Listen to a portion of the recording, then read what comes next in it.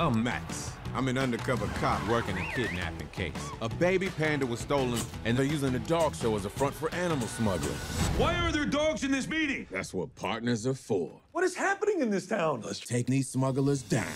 We are extremely fortunate to have Mike and his crew working on them, and they, the way they trained them and the way they interact with them, uh, it's it's uh, it's phenomenal to see. Very impressive. I mean, they really become these characters in a way that I would have never had anticipated. I thought you must have many different dogs to play one role, but in a way, these dogs somehow understand their characters. Las Vegas. I give props to hip hop, so hip hop, hooray! Viva Las Oh, Vegas. hey, oh. Stop, Max, stop it. That, stop. What kind of dog likes hip hop?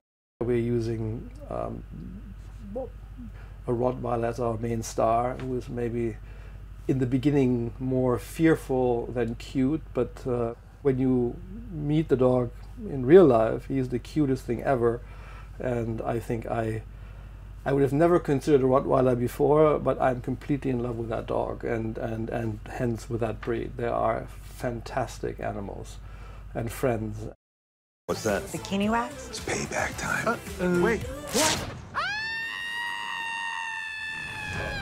The pain passes, but the beauty shall remain.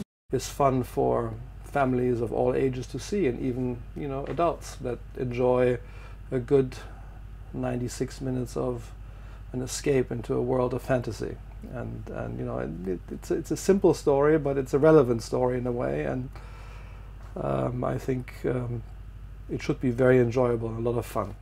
three, two. You waited for me to get back here for that, didn't you?